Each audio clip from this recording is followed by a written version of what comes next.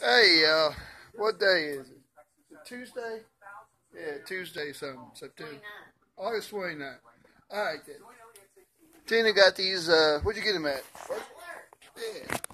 See that? Got the boo guy, the ghost, boo, tree. See where it's at? Now, here we go. We're going to walk over here to the living room, dining room area, and check out what's on the wall. Does that look familiar?